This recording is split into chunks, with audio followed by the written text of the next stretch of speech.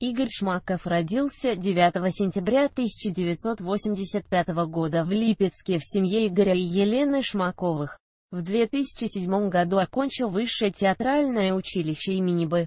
В. Щукина. Во время учебы участвовал в спектаклях «Зеленая птичка» по одноименной пьесе Карла Готце в роли Ренцо и «Дядюшкина тайна» по водовилю Д.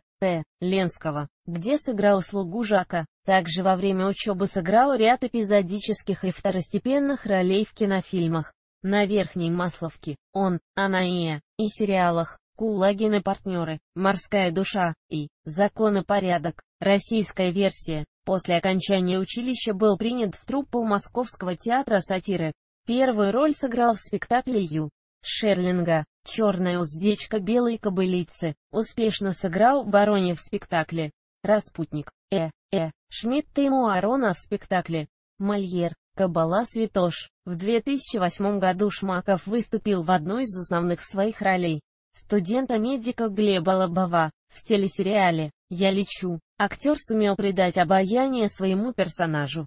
Несмотря на отдельные отрицательные черты его характера, сыграл в двух детективных сериалах «Братья-детективы» и «Вернуть на доследование. Отдел контрольных преступлений». Снялся в небольшой роли в фильме «Адмирал». В 2009 году сыграл лейтенанта Гордеева во второй части сериала «Платина». В 2010 году сыграл главную роль сержанта Силантьева в историко-фантастическом фильме «Туман». Помимо этого он появился на экране в роли курсанта Гоши в новом фильме Никиты Михалкова «Утомленные солнцем 2».